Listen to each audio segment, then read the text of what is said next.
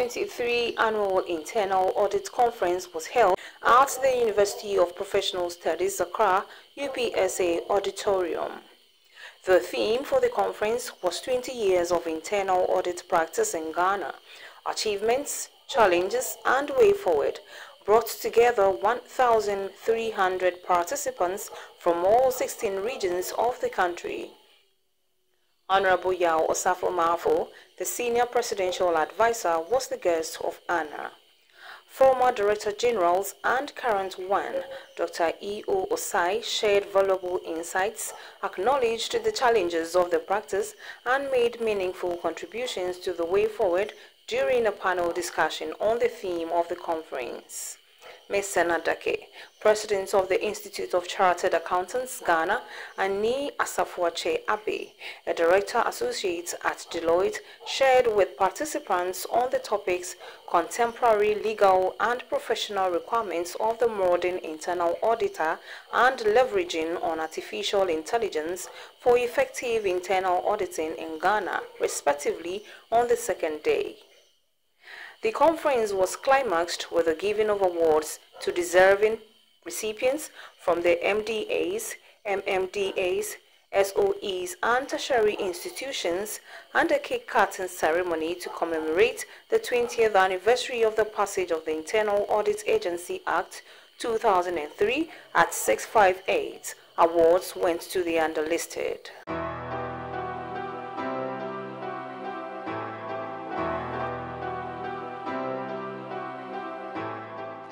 A ɛbɛma yɛn dwuma wɔ assembly yɛ checks yɛ balances yɛ risk. Akɔ low ɛwɔ assembly. Deɛ ɛbɛma assembly no ayɛ deɛ ɛtumi apagya ama aban sika na yɛde yɛ adwuma. Nti biribiara wɔ sɛ make sure sɛ yɛwɔ line nim a yɛnyɛ basabasa biara nti saa audit committee yɛ committee bi a ɛwɔ assembly wɔn check make sure sɛ yɛ dwumadie yɛ books yɛ reports akɔ at the right time. Nti ɛna egyina ha na yɛabɔ yɛ aba so fi sɛ ɛɛ head of entity ame na meda ano ma yɛ ade ma make sure sɛ ma attend the meetings. Obi hɔ ɔnkɔ meeting ni bi nti onim nea ɛkɔ so koraa wɔ audit committee no nso ɛdeɛ mɛtumi akɔ bi ɔmo allowance biara mendi mede ɔmo adeɛ ma wɔ me make sure sɛ yɛakɔ yɛ meetings ɛwɔ sɛ yɛkɔ for the year. Nti ɛnɛ deɛ ɛɛ nyame adom ɛmi sɛ ma yɛ ade kakra. The way forward next year nyame bɔ ɛbɛsan abɛgye bebree aka ho wei yɛ baako next year ne nyinaa four ne nyinaa yɛbɛba ne yɛ abɛgye because yɛbɔ yɛn ho mmɔden wɔ ayɛwa so west. Nyɛ de bia na ayɛwa so west. Ayɛwa so west edin bɔ ne bi yɛde bata yɛ ɛnɛ deɛ good news nti enim sɛ mo nso media houses nyinaa ɛnɛ you concentrate on ayɛwa so west yɛ audit committee members. Ɛne yɛn a yɛabɛgye saa award. Yi other entities organisations mmdas ne sɛ fa wo a woyɛ mc anaa woda entity no. ano fa wo gye wo audit committee meetings mu paa. Ɛhɔ na wobɛhu deɛ ɛkɔ so. Wo report bi wɔ ha koraa report ɛkɔ ɛmfa ne ho. Ɛso sɛ report no firi assembly hɔ kɔ a wontumi nsan kɔfa report ne mba.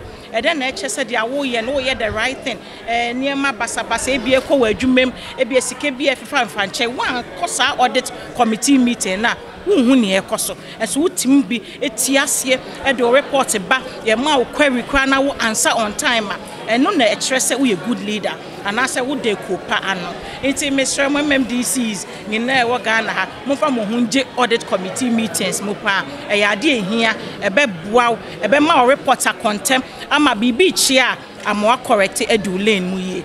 Infact yɛbɔɔ me din no the team ɛyɛ mmɛmɛfo me coordinating director the members assembly members auditors ɔmo nyinaa municipal obiara ba maa yɛ fɛ ɛɛ nea mɛka ne sɛ meda mo ase nyame nhyira mo na mmom afe sɛsɛ na yɛde four ne nyinaa ɛrekɔ ayɛwa so west nyame nhyira mo meda ase. You're not joking at all. That was west. All right.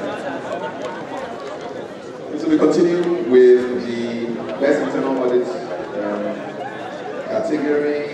We were done with council point.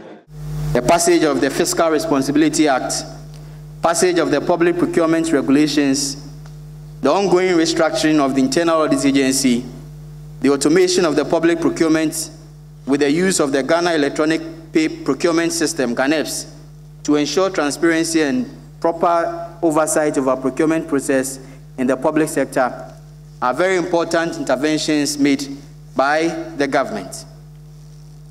Taken together, these initiatives create, created a platform of more resilient fi finances which allow the government to further extend our investment into infrastructure and strengthen, strengthening of social safety nets to protect the most vulnerable. I am particularly proud of the fact that we're able to grow school feeding enrollment from 1.67 million in 2017 to 3.6 million by the end of last year. Moreover, households covered under the LEAP program increased from 195,680 to 344,185 over the same period, while active membership of the NHIS also rose from 10.4 million to 17.9 million. Madam Chairperson, as we navigate through a challenging global macroeconomic context, our challenge now is to anchor economic build back as captured in the post-COVID program for economic growth, that's the PCPEG, on fiscal prudence, fiscal consolidation, and return to debt sustainability. To place this in proper context, Madam Chair, the program envisages a cumulative fiscal adjustment of 5.1 percentage points of GDP over the program period 2023 to 2026, with a fiscal effort of 3.8 percentage points in 2023 alone. The primary deficit on commitment basis is also set to be reduced from 4.3% of GDP in 2022 to 0.5% in 2023. These targets will be pursued by strong reforms across both domestic revenue mobilization, spending efficiency, and spending efficiency. Against this backdrop, backdrop, ladies and gentlemen, the role of internal auditing in the public sector forms a crucial step towards providing a building back the economy through efficiency, value for money, and transparency in the use of public resources. Madam Chair, let me use this opportunity to assure the public that the government will continue to support the work of auditors in the assurance services they offer, including the work of the Auditor General. The government has on a continuous basis established measures to address the root causes underlying irregularities reported by the Auditor General. I recently launched the Emergency Expenditure Management Guidelines and the Audit Recommendations Implementation and Follow-up Instructions for Public Institutions. These two guidelines are designed to provide a clear, transparent framework for how public officers should uphold fiscal discipline in public emergencies, as well as improve public financial management and accountability. These interventions underscore the government's fair commitment to ensure strict accountability and transparency in the management of public resources. It is my expectation that with the effective use of these guidelines, the government will see improvement in the implementation of audit recommendations, reduction in audit infractions, and ultimate improvement in the public sector internal auditing. Madam Chair, the ministry will continue to enforce and enhance all the ongoing expenditure management and accountability measures to ensure proper utilization of public resources to the full benefit of the citizens of Ghana. I acknowledge that the success achieved by the internal auditors over the period, that is this two decade, has not been without challenges inadequate resources, uncompetitive conditions of service, and inadequate professional development and capacity building for internal auditors are a few of the bottlenecks in your work. Madam Chair, the Ministry of Finance is working hard to obtain cabinet approval and approval from Parliament to restructure the public sector internal auditing to improve its effectiveness, management, and ensure better outcome.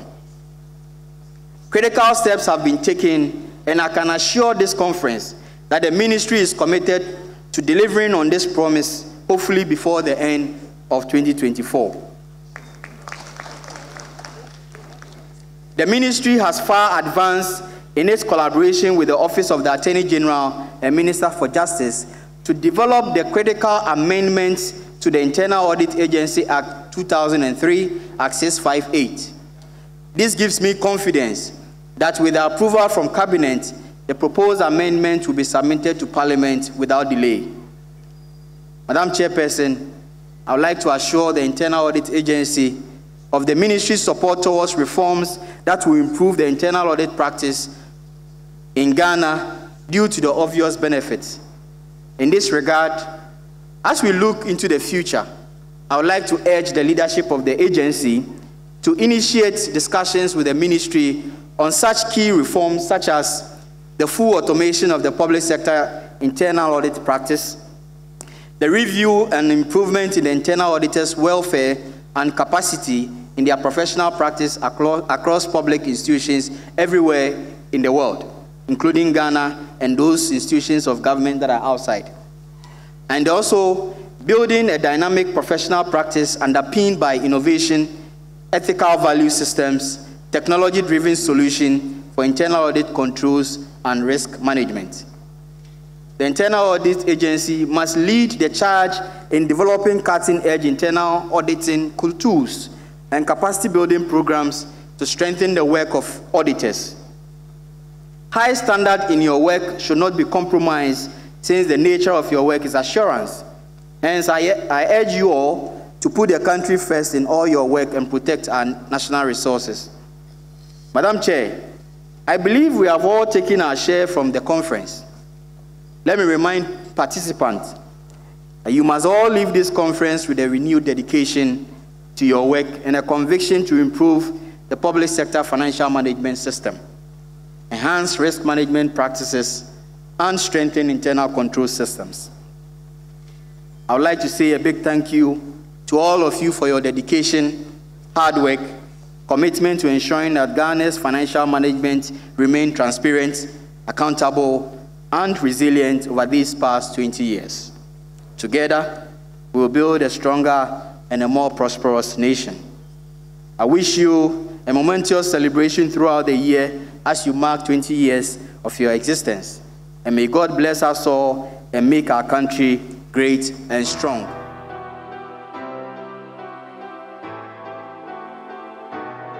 It's magical.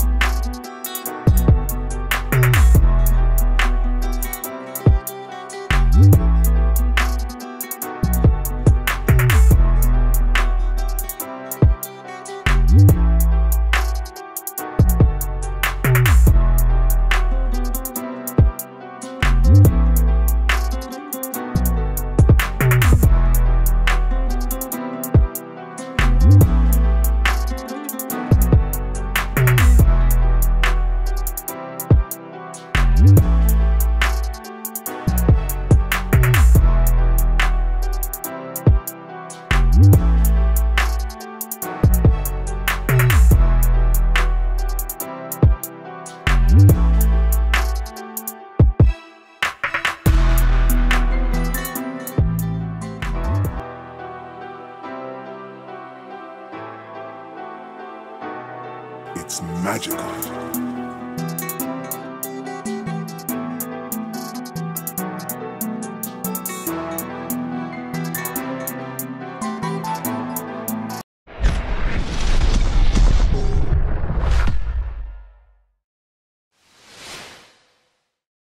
Thank you for watching Nation One TV. Kindly subscribe for more news updates.